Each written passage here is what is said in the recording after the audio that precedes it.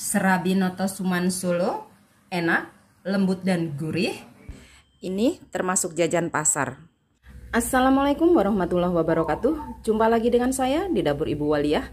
Kali ini saya akan membuat serabi Noto Suman Solo, makanan khas dari Solo, Jawa Tengah. Bahan-bahan untuk membuat serabi Noto Suman silahkan di screenshot Pertama-tama kita akan buat arehnya dulu. Santan dari satu butir kelapa. Masukkan dua lembar daun pandan. Gula pasir. Dan garam. Masak sambil diaduk santannya. Setelah santan panas, matikan api kompor. Kita akan ambil santan kentalnya, kita jadikan sebagai areh. Ambil santan kentalnya, 225 gram santan kental, lalu kita sisihkan. Selanjutnya kita ambil 250 santan encer. Dan kita ambil lagi 200 gram santan encernya. Lanjut, sekarang kita akan buat adonan serabi noto sumennya, tepung beras, gula pasir, ragi instan. Ini kita aduk dulu. Ini santan yang tadi kita pisahkan telah hangat-hangat kuku.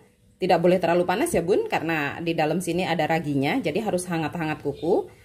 Tuangkan sedikit demi sedikit. Ini akan kita ulenin. Saya menggunakan tangan yang telah bersih.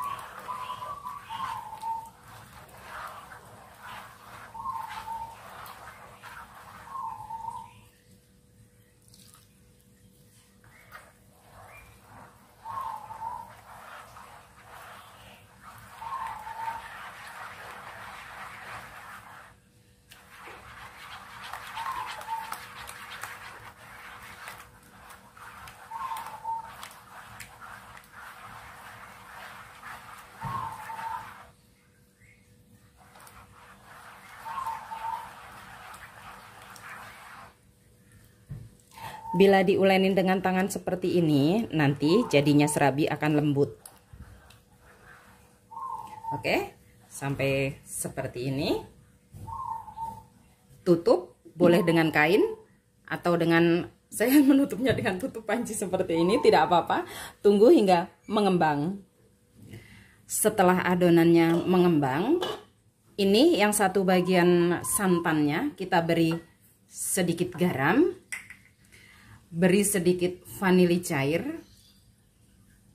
Biar aromanya wangi. Beri seujung sendok teh baking soda. Aduk dengan rata. Lanjut kita kembali ke adonan. Kita aduk untuk menghilangkan buihnya Setelah diaduk seperti ini, masukkan santan yang telah kita beri garam dan teman-temannya tadi. Aduk kembali.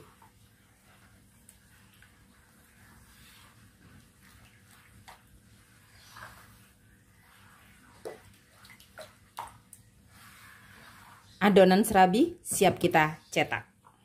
Sekarang kita mulai masak serabi noto sumannya. Kita aduk dulu kita ambil satu sendok sayur. Kita tuang. Kita masukkan arehnya.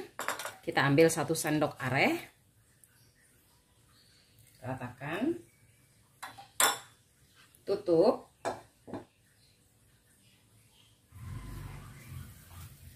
Setelah setengah matang seperti ini berlobang-lobang ya bun tandanya jadi.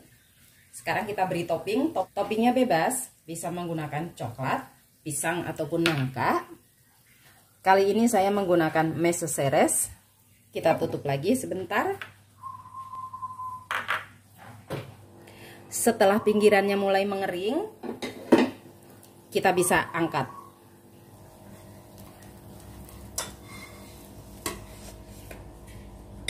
lakukan hingga semua bahan habis.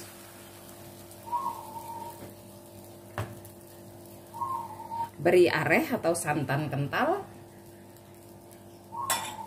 Lalu tutup. Kalau mau dijadikan serabi gulung tinggal kita gulung.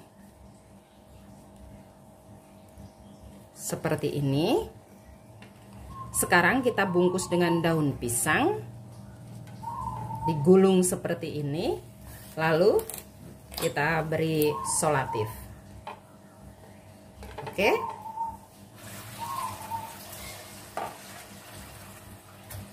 Kita akan buat serabi gulung. Caranya mudah sekali. Gulung serabi yang telah matang seperti ini dengan selembar daun pisang. Taruh di atasnya. Lalu Guys, masih agak panas. Kita gulung ujungnya. Kita beri solatif. Jadilah serabi notosuman gulung. Oke. Okay.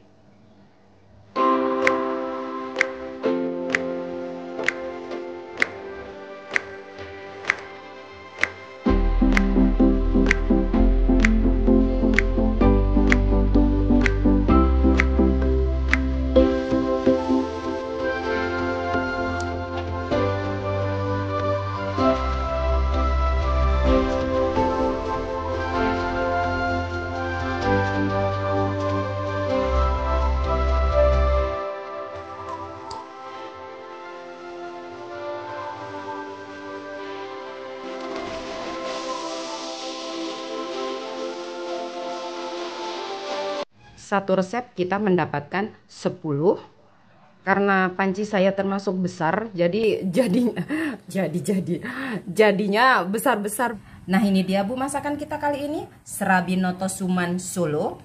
Ini makanan khas dari Solo Jawa Tengah. Mudah-mudahan resep-resep dari saya bisa menambah daftar menu keluarga Anda. Terima kasih buat Anda yang telah menonton video saya yang telah subscribe. Yang belum subscribe silahkan subscribe like comment and share. Selamat pagi Wassalamualaikum warahmatullahi wabarakatuh.